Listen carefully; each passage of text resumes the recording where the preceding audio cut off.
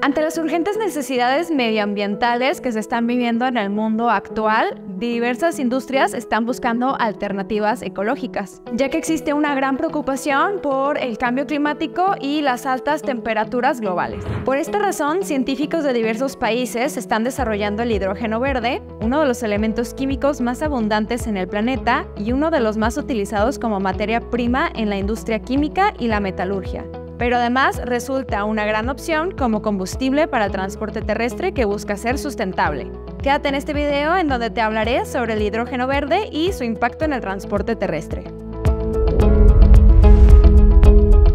Hola, muchas gracias por estar viendo un video más de SafeLink Group Latam. Recuerda que si te gustan nuestros videos, te invito a que te suscribas a este canal y por favor no dejes de ponernos en los comentarios qué temas te interesaría que comentáramos en los siguientes videos. Como seguramente ya sabes, el transporte terrestre es uno de los mayores emisores de gases de efecto invernadero en el mundo, por lo que se están buscando soluciones que tengan un impacto menos nocivo al medio ambiente y que contribuya a la descarbonización de este sector. Frente a esta situación, una de las opciones a las que se está comenzando a recurrir es el hidrógeno, un elemento químico ligero, fácil de almacenar y que no genera emisiones contaminantes por sí mismo lo que lo vuelve un candidato ideal para convertirse en combustible. Aunque requiere de un difícil proceso químico para su producción, se está desarrollando nueva tecnología para obtener hidrógeno verde, es decir, uno más ecológico gracias a su generación mediante un proceso químico conocido como electrólisis,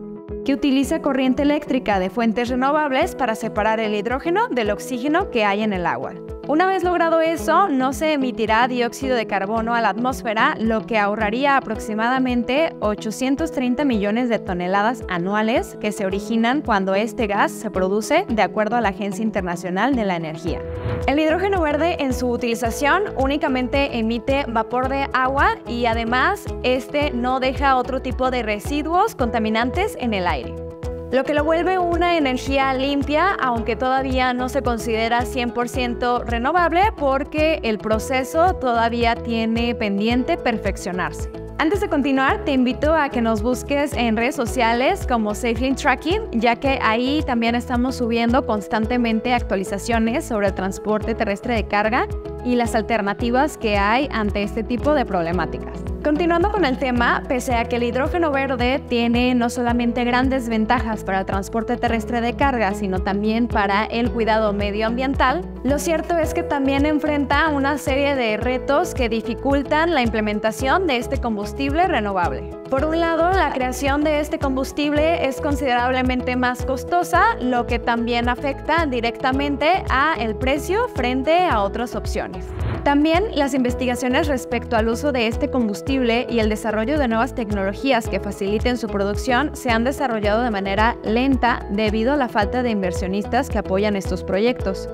Además, estima que harán falta cerca de 300 mil millones de dólares en los próximos años para lograr estos avances, por lo que es posible que se implemente como combustible predilecto hasta el año 2050. Con todos esos retos, diversos sectores mantienen el optimismo frente al hidrógeno verde y se espera que permita avanzar en la descarbonización a nivel mundial en un futuro más próximo de lo que las estimaciones apuntan. Si todo se da, el transporte terrestre podría pasar a ser sustentable sin la necesidad de cambiar a flotillas eléctricas, pues solo sería necesario con un cambio de combustible teniendo una opción más para el cuidado del medio ambiente. Y bueno, eso ha sido todo por el video de hoy. Espero que te haya gustado el tema y que haya sido de mucho interés para ti.